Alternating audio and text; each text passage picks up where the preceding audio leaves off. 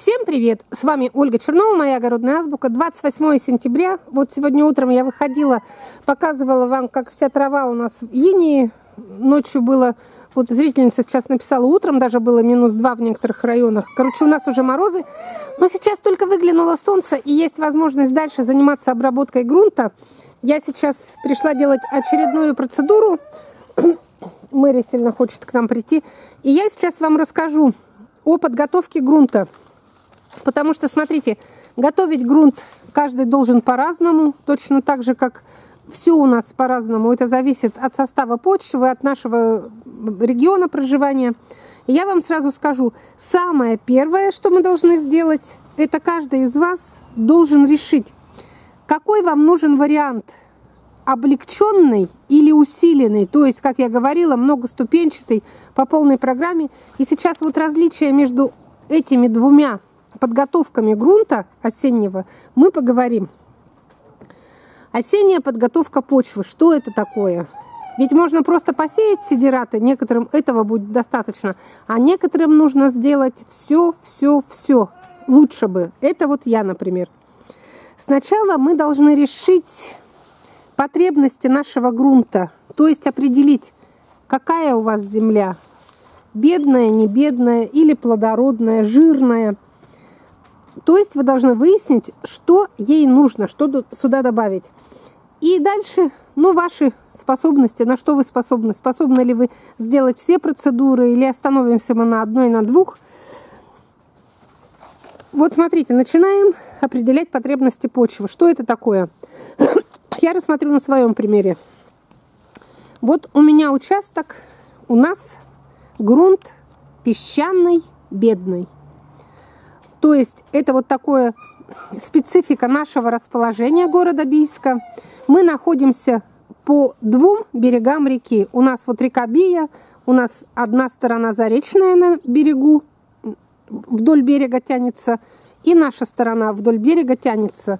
Это значит, что когда-то река была, наверное, ну, в, даль, в давние времена она была шире, и тут у нас скорее всего, это бывшее, наверное, дно реки тоже. Но у нас, короче, один песок. Если в двух словах, если ничего сюда не добавлять, мы ничего и не получим. Песчаные грунты считаются самыми легкими, самыми бедными, без добавления, без различных добавок, плодородие на нуле. И еще, если учесть, что наш город возведен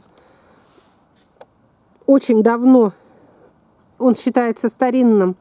И вот эти участки нарезались более ста лет назад по плану города и по планам наших.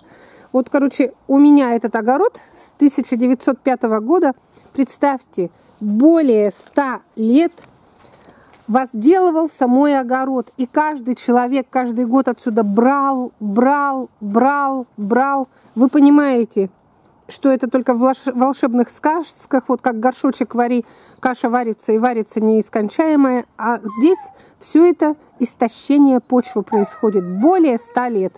Это вы должны учитывать. Это значит, что в мой грунт нужно обязательно подготавливать осенью или весной, все равно, хоть осенью, хоть весной, можно половину осенью, половину весной. Это значит, что сюда нужно что-то добавлять, а лучше всего все добавлять. И свежую землю лучше добавлять, и какие-то удобрения. Еще хочу сказать, что у меня почва кислая. Может быть, она уже слабо кислая, ближе к нормальной, потому что я все-таки делаю какие-то меры профилактики. Но, скорее всего, кислая. И кислые почвы у нас на большей части на территории нашей страны, России. И кислую почву нужно еще раскислять, то есть добавлять средства для раскисления почвы.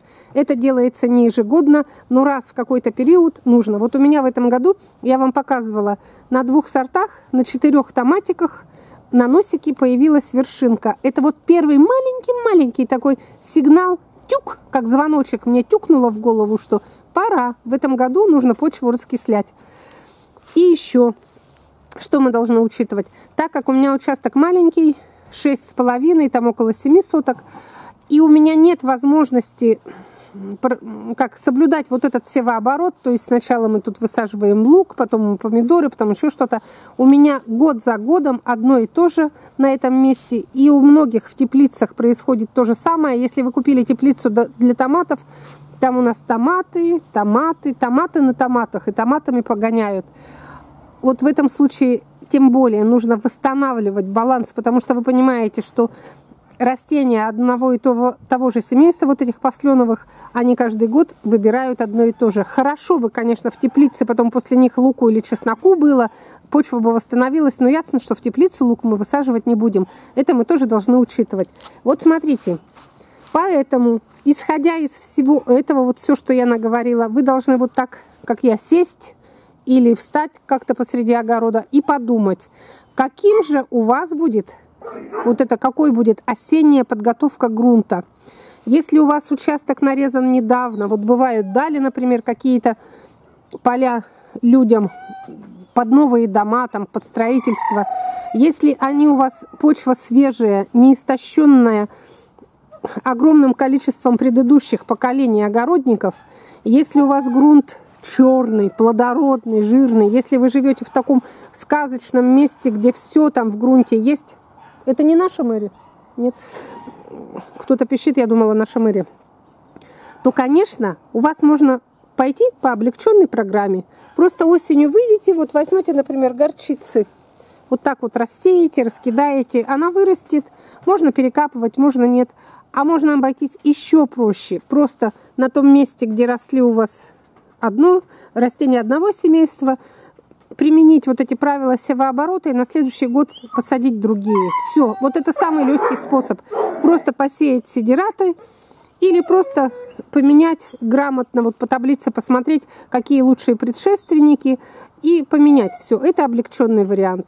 Но если у вас есть какой-то один из факторов, которые я назвала, например, или столетний огород, в котором еще ваша бабушка в молодости высаживала свои овощи. И в то время, когда не было сильного удобрения, не было никаких м, таких средств, восстанавливающих почву, ничего она не делала, а вам вот досталось по наследству, вы увидите, ничего не родится.